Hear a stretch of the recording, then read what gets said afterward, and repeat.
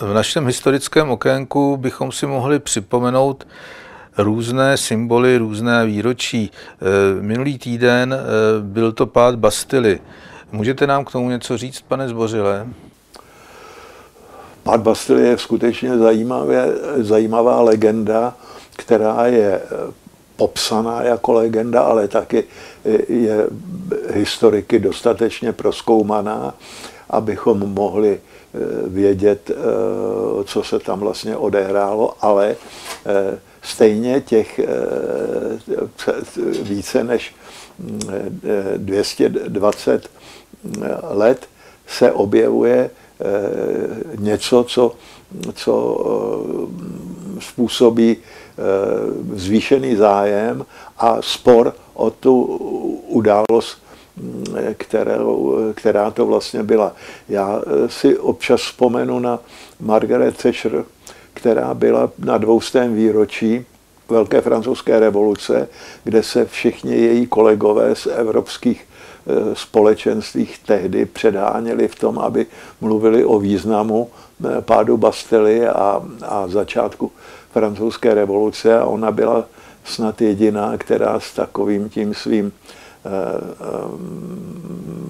umírněným hlasem řekla, že opravdu žasne nad tím, kolik povyku se nadělá okolo události, jejíž eh, špatné mm, následky se museli 200 let opravovat. Dnes jsme se dozvěděli, že budou na Šamzelize pochodovat nějaká čes, nějaké čestné jednotky dovezené i z České republiky a že se uvažovalo o tom, zda tam nebudou pochodovat mm, ukrajinští vojáci. Jestli to měl být batalion Azov nebo nějaký jiný, od toho se zřejmě upustilo. Ale ten, ty podivuhodné mm, události, na které se vzpomíná, těch je těch je celá řada. A každá země, každý národ má, má svoji, eh, svůj příběh.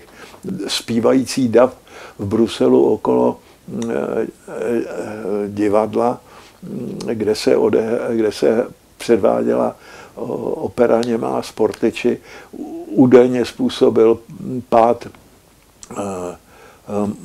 monarchie nebo respektive té podřízenosti Habsburské eh, monarchii a eh, způsobil vznik eh, státu, kterému evropské mocnosti zajišťovaly svatou neutralitu. Pak samozřejmě ji hned porušili po deseti letech. Mnozí z nás ještě pamatují výstřel z Aurory, který spustil velkou říjnovou socialistickou revoluci, okolo kterého se dodnes dohadujeme, jak to eh, vlastně s tou Aurorou bylo, jestli tam vůbec byla, anebo jestli to nebyla, nebyla mm, eh, loď dopravená jenom k opravě do eh, Petrohradu, a která pak sice vystřelila, ale v 6 hodin večer, protože to byl jediný, jediný signál, který eh, bylo slyšet a, a oznamoval, eh, kolik je, kolik je hodin a kdy se budou zvedat nebo mm, otevírat mosty.